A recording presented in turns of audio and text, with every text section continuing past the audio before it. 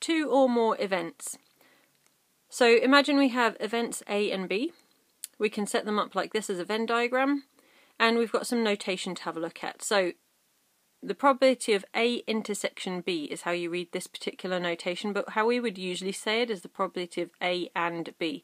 So that's meaning the intersection or anywhere where we could have A and B happening. So that's that middle section there. We've also got this um, notation, which is the probability of A union B, and that means anywhere where we could have A or B or both of them. So that is the whole of that section there and this is equal to the probability of A plus the probability of B, but that would count that middle section twice, so we need to take that away.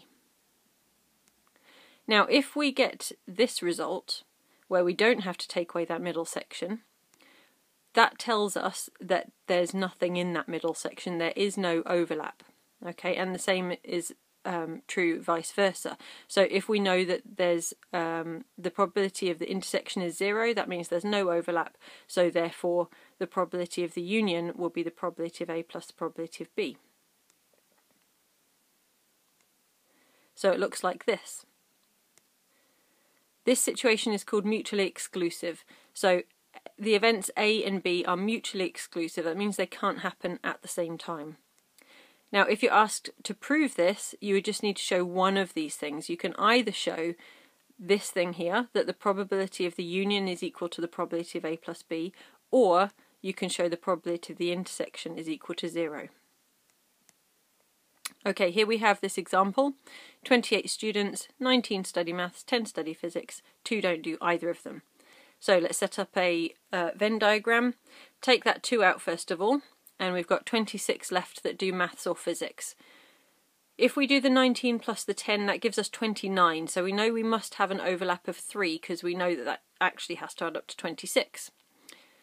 So then we've got the 16 to make that total for maths be 19, and the 7 so that the total for physics is 10. So the probability they study maths and physics is the intersection, that's 3 out of 28.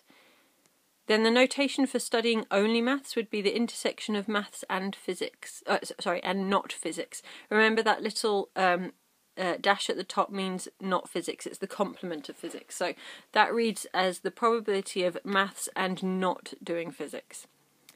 So that would be the 16 out of 28. And then state with reason whether the event that a student studies maths or a student studies physics are mutually exclusive exclusive or not. Well, we can show that the probability of maths and physics is not equal to zero. That was part A. So therefore it's not mutually exclusive. Okay, results of some driving tests shown below. we're going to work out some probabilities. So first of all, we need the total. So we've got 77 people in total. The probability that they are male is that section there. So all of the males, whether they passed or fails, fail came to 27 out of 77 total. And the probability that the person picked at random passed is that section there, so that adds up to 58 out of 77. And the probability that they are female or they passed, well, that would be that section there. So that's 70 out of 77. So female or passed means they could be either or both. So we need all three of those um, numbers there. And a little something to finish off.